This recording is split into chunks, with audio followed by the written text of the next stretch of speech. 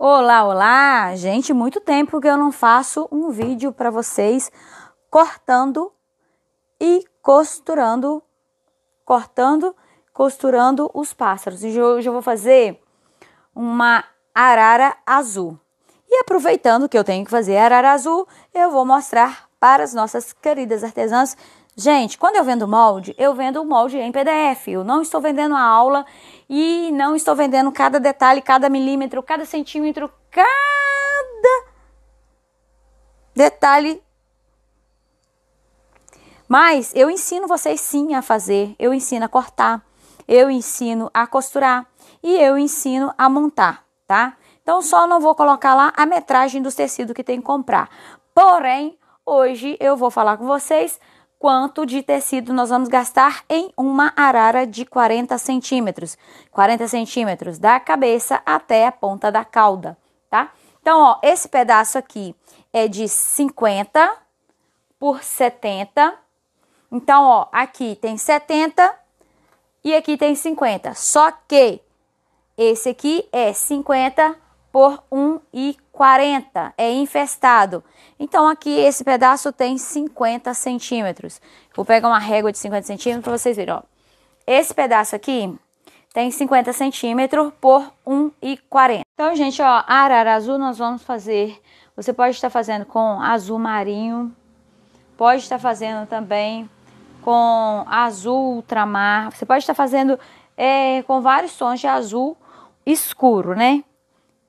Mas é a única coisa que nós não vamos usar o azul. Então a arara azul, ela é feita toda com uma cor de tecido só, tá? E a única coisa que nós vamos usar preto é o bico. O bico nós vamos usar preto e vamos usar um pedacinho de amarelo porque a arara azul tem um pedaço de amarelo, tá? Na cabeça. Então nós vamos riscar com lápis branco ou então um pedacinho de sabonete. Aqui eu vou riscar bem próximo, porque eu vou cortar o corpo, vou cortar em cima do risco. E as partes do rabo e da asa, eu corto com um pedacinho sobrando, tá? Sempre vou cortar com um pedacinho sobrando. Aqui, ó, o corpo. Quem quiser pode riscar com caneta azul aqui também, tá? Eu vou riscar com lápis branco, mas quem quiser pode estar riscando com a caneta azul ou preta. Ó, risquei aqui o rabo, vou usar uma régua.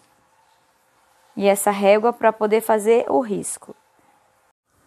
Bom, gente, e então, riscada a nossa arara, risquei toda a arara azul num pedaço de 50 centímetros infestado de feltro. Gente, eu uso o feltro Santa Fé, tá? Então, ó, o feltro infestado, eu risquei em 50 centímetros e então sobrou 30 centímetros, tá?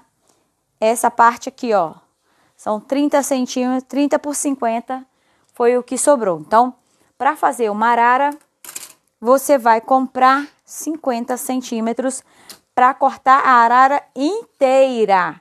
Agora, se for para fazer a arara vermelha, a arara, todas as a arara é, colorida, então a arara canindé, então são várias cores.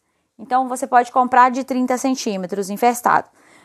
Como nós vamos fazer a arara toda azul, então compra um pedaço de 50 centímetros, ok? Então nós vamos cortar aqui essa peça para costurar.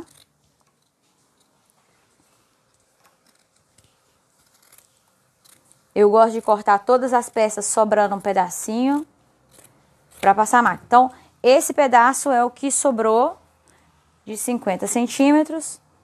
Aqui nós vamos cortar sobrando. Arara cortada, né? O corpo, a barriga, tem o rabo, o rabo 1, um, o rabo 2 o rabo, as beiradinhas da, do rabo. Isso aqui, gente, é as penas que ficam na lateral. Todas as araras têm, tá? Todas, todas, todas. Cadê a outra parte? Tá faltando um desse aqui. Então, acho que deve estar colado aqui atrás. Eu cortei, cortei todos aqui. Cortei os dois, sabia que tinha cortado os dois, que aí fica um lado de cá, outro de cá. Tem a asa maior, a asa menor e tem são quatro tamanhos de asa, tá? Aqui, ó. Quatro tamanhos de asa, tudo no mesmo azul. E olha, eu sempre corto sobrando aqui, eu sempre corto aqui, ó, desenho, né?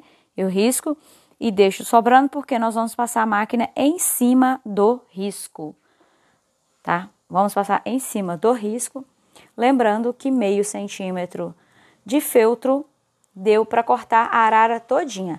E se for para poder cortar a arara de 60 centímetros, também vai dar, tá? Vai dar para cortar. Porque nós cortamos a arara de 40 centímetros, sobrou 30 centímetros de tecido